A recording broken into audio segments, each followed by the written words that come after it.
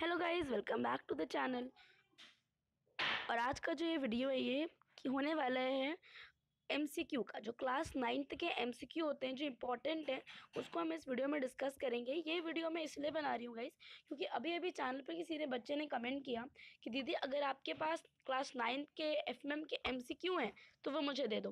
तो मैंने सोचा कि अगर आपको कोई एग्ज़ाम होने वाला है तो सब बच्चों को पता चलना चाहिए। That's why I am making this video आप इस वीडियो को बहुत ध्यान से देखो, क्योंकि थोड़ा सा जल्दी मैं बना रही हूँ तो कुछ कुछ ऐसा लग सकता है कि मैं जल्दबाजी में हूँ। बट क्योंकि ज़्यादा टाइम नहीं है और आप लोगों को वीडियो भी देना है एडिटिंग भी करनी है टाइम लगेगा।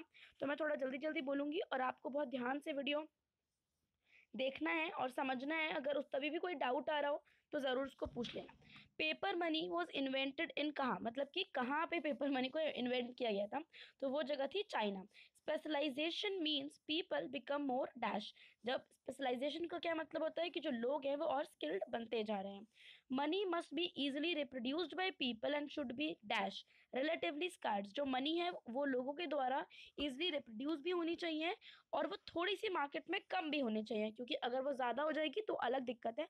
और अगर गाइज़ इन सब के आपको एक्सप्लेनेशन चाहिए तो मेरे चैनल पर आपको सब मिलेगा। सारे वीडियोज़ ऑलरेडी हैं तो आप उनको भी देख सकते हैं।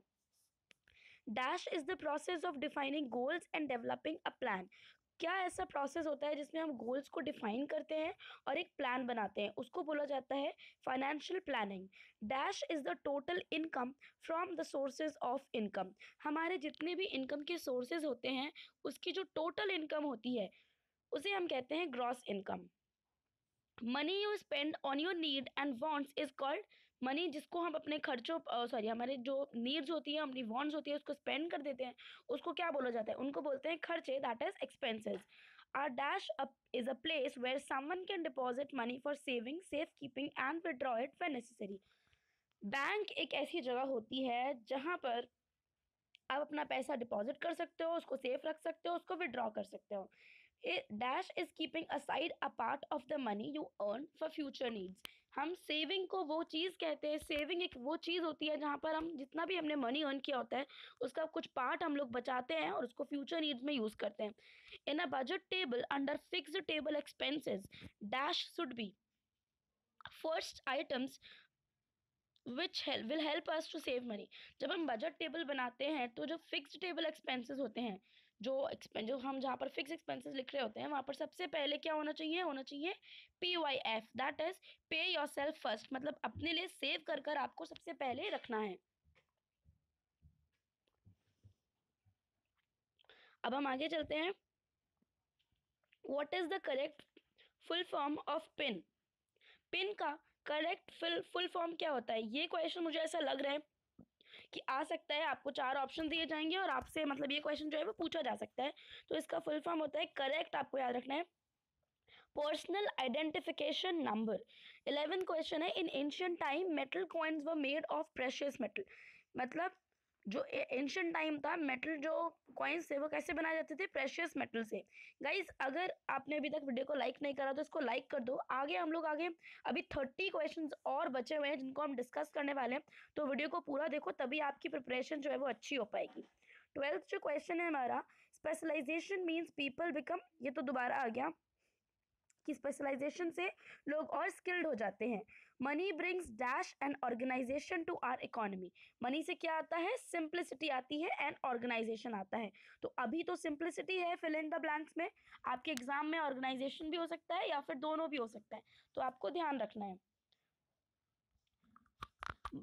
Being on time for work is a kind of dash for life अगर आप टाइम पर रहते हैं, कोई भी काम करने में तो ये आपकी लाइफ में एक वैल्यू है। Dash are fees placed on income property और goods to support government program जो भी आप गवर्नमेंट प्रोग्राम के लिए जो आपका जो फ़ीस होता है अपने इनकम से, अपने प्रॉपर्टी से, अपने गुड्स से, जो गवर्नमेंट को सपोर्ट करने के लिए देते हो तो वो क्या होता है? वो होते हैं taxes dash expenses have set amount and are exact amount incurred every time, not depending on consumption or usage. जो depends expenses होते हैं हमारे, वो कितने भी टाइम पर जो हम अगर देख लें तो वो सेम ही रहते हैं, वो इधर उधर नहीं होते हैं। The first banking institution in India was, first banking institution India में कौन सा था? Bank of Bengal. ये क्वेश्चन भी आपसे पूछा जा सकता है, आपसे पूछा जा सकता है कि बैंक ऑफ़ बंगाल कब एस्टेब्लिश हुआ? तो ये वाला जो चीज़ है, इसको आप ध्यान रखेंगे। Dash me in saving before spending. अब ये पे जो पी वाई एफ़ है, ये आगे भी आया था। ये यहाँ भी आया, पर क्वेश्चन से क्वेश्चन डिफरेंट है आंसर सेम है। पे योर सेल्फ फ़र्स्ट का क्या मतलब होता है? कि आप स्पेंड करने से पहले अपने लिए सेव करोगे।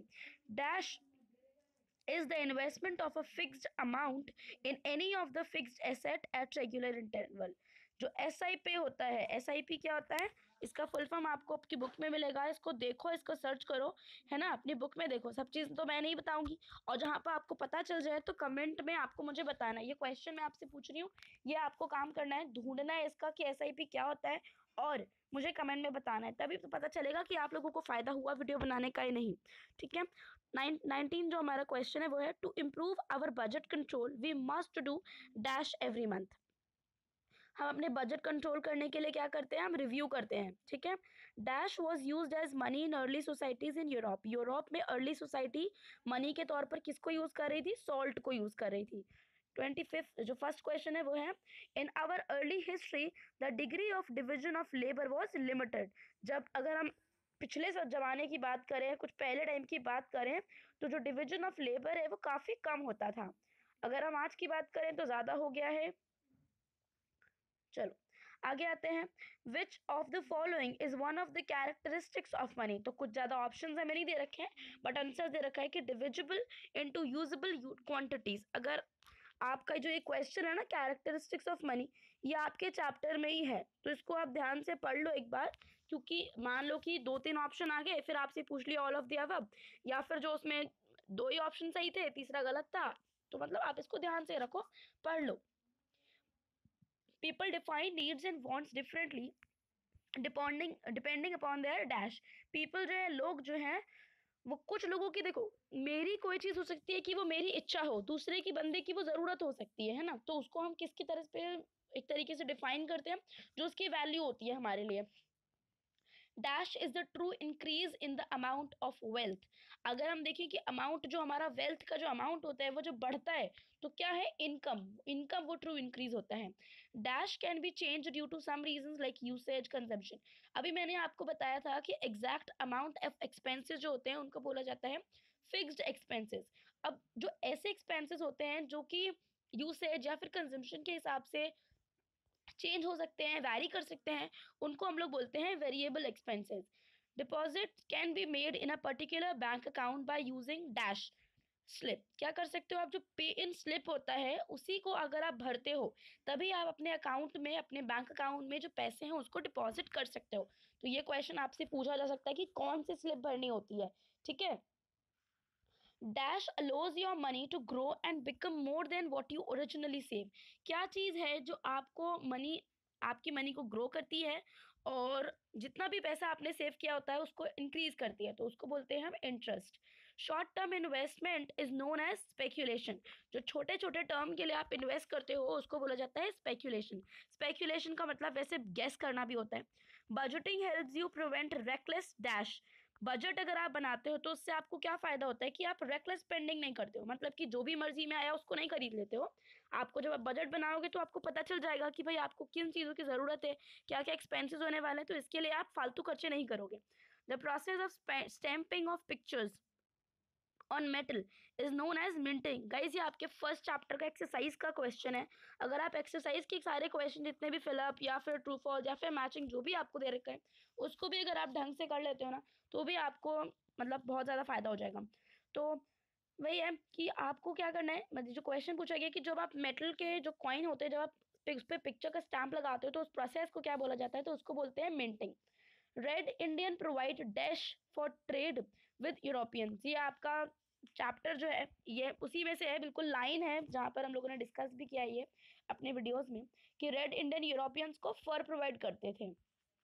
Money must be dash into usable quantities और फ्रैक्शन। अभी थोड़ी देर पहले ही आपको मैंने बताया था एक तो वहीं पर ये भी था, बट अगर मान लो जैसे वही क्वेश्चन आया है तो अगर आपने क्वेश्चन को भी ध्यान से पढ़ाया तो दो तीन आंसर होते हैं कि उसी में से मिल जाते हैं। तो यहाँ पर आएगा डिविजिबल अब आ जाते हैं dash are simply believes and practices in your life क्या होता है? वैल्यूज़ जो है वो आपकी लाइफ में सिर्फ़ सिंपली कुछ बिलीव्स होते हैं, कुछ प्रैक्टिस होती है। Deductions are the amount subtracted from gross pay which results in net पे जो भी आपका ग्रॉस पे होता है, उसमें से आप क्या करते हो? कुछ डिडक्ट कर देते हो अमाउंट और उसके बाद ही जो हमारा बचता है, उसको बोला जाता है नेट पे ठीक है? और गाइज़ अगर आपकी बुक में कोई फॉर्मूले दे रखे हों तो उसको भी आप ध्यान से कर लेना। ठीक है? जो अगर कुछ न्यूमेरिकल वाले क्वेश्चन हो, उनको भी आप ध्यान से कर लेना, क्योंकि अभी वो चैप्टर्स मैंने नहीं पढ़ाए हैं और अभी उसको हम डिस्कस भी नहीं करेंगे, जितना एमसीक्यू टाइप है, उसी को डिस्कस करेंगे बट अगर आपने नहीं भी किया है बट कोई फॉर्मूला हो तो उसको भी आप अपना देख लेना, उसको याद कर लेना, ताकि जब आपसे क्वेश्चन पूछा जाए तो आपको ऐसा ना लगे कि मुझे नहीं आ रहा। Dash gives us record of all the transaction have been made in your account जितना भी ट्रांजेक्शन आपने किया होता है, उसको आपको कहाँ से पता चलता है? बजट से। Dash is paid on original principal and on the accumulated past interest एक मिनट, जो पहला वाला क्वेश्चन था थर्टी फिफ्थ वो है पासबुक की पासबुक से हमें वो रिकॉर्ड मिलता है, जिसमें हमें ट्रांजैक्शन का पता चलता है और क्या ओरिजिनल प्रिंसिपल होता है इज़ पेड ऑन प्रिंसिपल जो होता है इंटरेस्ट वो जो कंपाउंड इंटरेस्ट होता है, वो मिलता है, ये ऊपर वाला, ये थोड़ा सा दिखने में थोड़ा सा आपको ये गलती कर दी गई है, ये टाइपिंग मिस्टेक है, ठीक है? Dash is an investment of funds for shorter period to get some return इसको हम लोग क्या बोलते हैं? स्पेक्यूलेशन वो इन्वेस्टमेंट होते हैं छोटे छोटे टाइम पीरियड के लिए। इसका आंसर बजट यहाँ पर दे रखा है। इसका आंसर स्पेक्यूलेशन आएगा क्योंकि हमने वो आगे भी पढ़ा था। तो हमको ध्यान है, इसलिए हम गलती नहीं करेंगे ताकि भले इसमें गलती हो, ठीक है? तो आज के लिए बस इतना ही। अगर आपको वीडियो पसंद आया तो उसको लाइक करो शेयर करो और चैनल को ज़रूर सब्सक्राइब कर लो क्योंकि ऐसे ही कॉन्टेंट आपको मिलता रहता है। और आपने कैसा स्कोर किया, जो क्वेश्चन आपसे पूछा, उसका आंसर ज़रूर कमेंट में देना। Thank you bye bye